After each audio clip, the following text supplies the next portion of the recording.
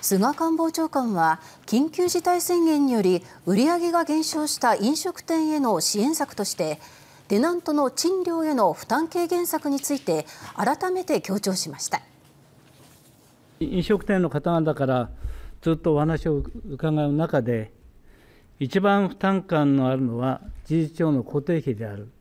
人件費と賃料だという声を多く聞いています。飲食店などの事業者側は休業したとしてもテナントの賃料が発生します。この支援策ではテナントを貸す側が賃料の割引や支払いを猶予したことで前の年と比べて売上が半減した場合に来年度の固定資産税を全額免除します。